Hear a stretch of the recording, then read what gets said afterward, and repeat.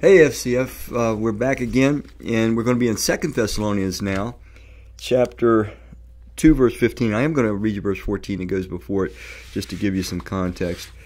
It says, He, meaning the Lord Jesus, He called you to this through our gospel that you might share in the glory of our Lord Jesus Christ. So, it, one of the things that the good news about God as He's revealed Himself in Christ is calling us to is to be partakers of the glory of the Lord Jesus. Well, the glory of the Lord Jesus is the character, it's the life that he experiences inside as well as ultimately his heavenly domain. But now, so we're called to be partakers of that. Now, verse 15 is where our emphasis will be today. So then, brothers and sisters, stand firm, hold to the teachings we passed on to you, whether by word of mouth or by letter. So here we have this, this exhortation to stand firm.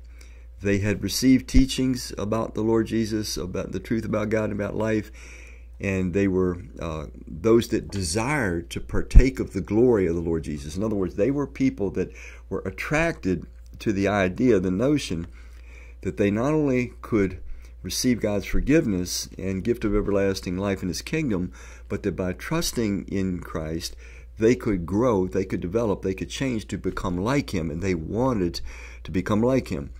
So these are people that really want to become uh, holy and righteous and loving and godly and so forth in the way that Jesus was.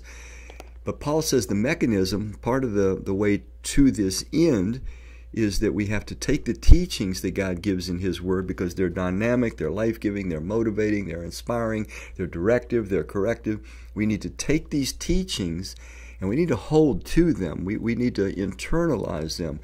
Uh, if not memorize them, at least in, internalize the principles of them so that we can actually live them out. We can actually do what they say. Now, it's interesting to me that there's a lot of emphasis in Scripture about this, this thing of standing firm and holding fast, in this case, holding fast to the teachings that had been passed on to them.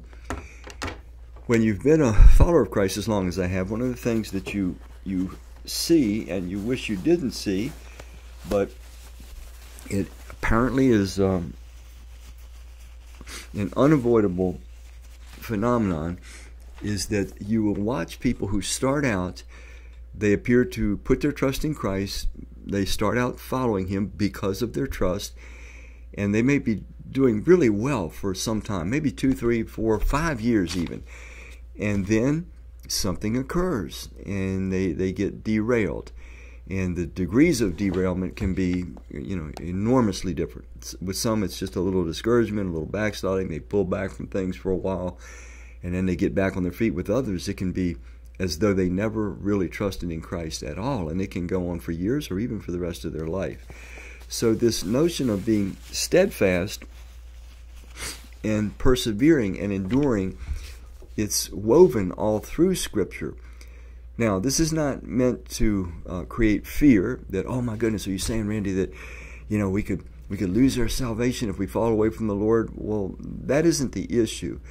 The issue is though that we need to understand we live in a world where the pressure is counter. Uh, everything that we are bombarded by, particularly in the in the in the day and age we live, when messaging is is so you know, inescapable everything we're bombarded by, it's propagandizing us to think differently, to have different values, to make different decisions, to live in a different way, all contrary to the way that Christ created us to live and designed us to live, the way the Word of God guides us to live. So, to hold fast to the teachings of the Word of God, it means that we have to be in somewhat of a vigilant state of mind. We have to be watching where we might be adrift or where we might be starting to be a little seduced by some of the things of this age, some of the teachings of this world, some of the propaganda of our times, bigger, better, newer, nicer, you know, more, more, more. Uh, achieve, regardless of who you have to bury in the process or step on. All, all these competitive, rivalry oriented um, feelings and thoughts that are pumped at us day and night.